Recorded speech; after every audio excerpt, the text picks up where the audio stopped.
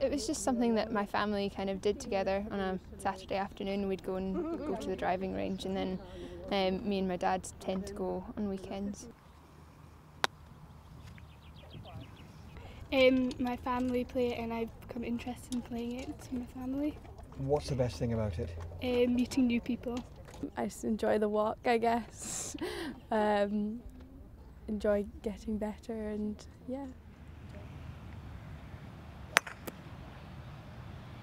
Oh, it's it's it's a great thing to have to play with the school kids and encourage them to take part in the sport. Golf's a great game because you can play it at any age, any ability. You can play yourself, you can play as a group. So yeah, and it's it's very friendly and great fun.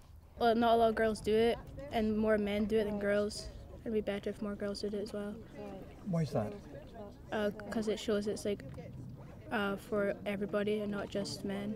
It's a great game to play on a nice day, um, and it's a very social game and something they could develop through their life, I guess, um, and keep it going.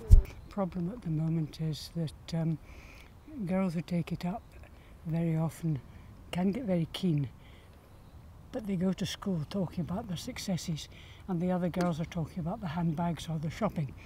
So they lose interest because they're on their own. Boys go to school and there's always a gaggle of them. So you find there's probably 30, 40 junior boys and maybe seven or eight girls. And they very often drop out by the time they're sort of 16, 17.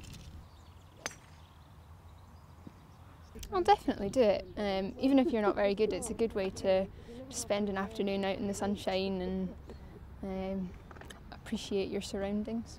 I'm definitely not very good, but I'm much better than I used to be.